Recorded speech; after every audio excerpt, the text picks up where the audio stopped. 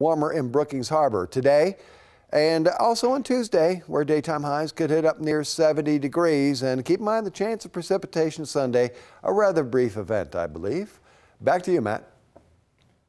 Well, Jeff, this is a little hard to say, but it is with overwhelming appreciation that we thank you for your last full weather forecast here at NBC5 News.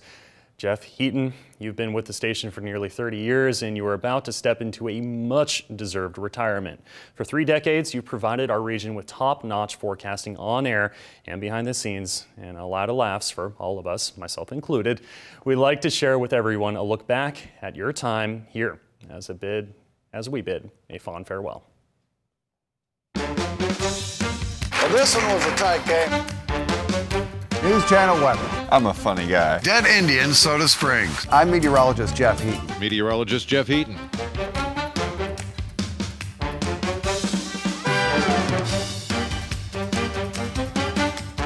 Horse is a horse, of course, of course. And nobody talks to a horse, of course, unless a horse is a famous Mr. Ed. Nailed it.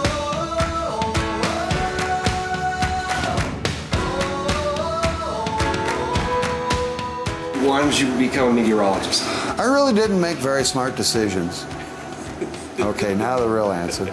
I was a weather producer for a person on television. I would do the forecast and then instruct him on how to communicate it. And he told me, you should try this TV thing, and it worked out.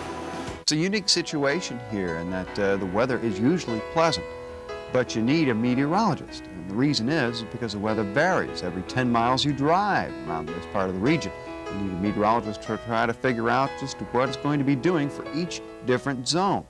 But yet the weather usually pretty nice. Got the best of both worlds here.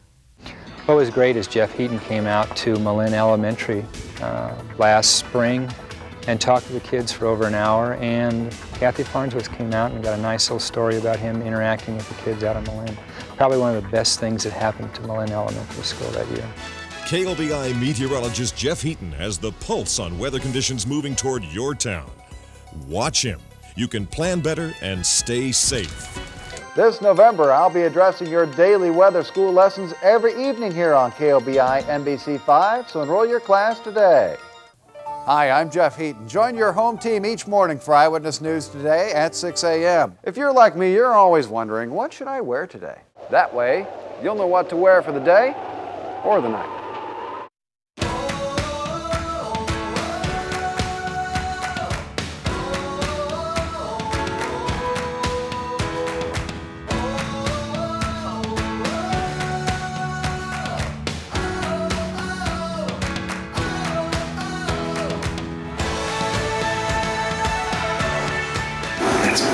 That's a that's a good one. I know, I'm brilliant. That's a really good one. A really good one.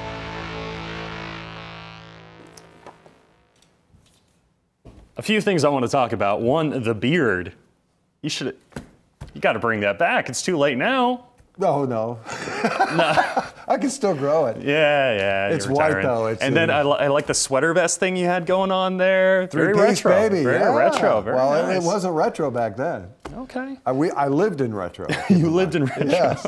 So almost 30 years. I, I have one question for you. I'm sure our viewers will have questions as well. They can check out our Facebook page, let you know all about those. But what, what's been the biggest change that you've seen over the last 30 years, just hanging out in news and doing weather as you have for so long? A ton of them. Uh, th- yeah, I used to have weather observers, which I will thank forever on that. Uh, they used to call me in every day to give me weather uh, conditions for around the region, and now it's internet. Yeah. And uh, tons of automated sites. I get more data. I kind of miss the human interaction, but uh, it is nice for that. Uh, Facebook, all the other different sources Yeah. of weather, running forecasts. You have to keep monitoring. You know. Uh, that's just the beginning of it. I can't go through them all. We do still like hearing from people about the weather in their Oh area. Oh no, I do. Yeah, we sure. do. We absolutely do. Yeah, because it's a human thing. An automated station is and not all that observant.